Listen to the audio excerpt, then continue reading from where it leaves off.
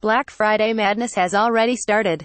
A Texas man has been camped out in front of a Best Buy in Garland since Saturday, hoping to save $300 on a new 50-inch television, CBS DFW reported.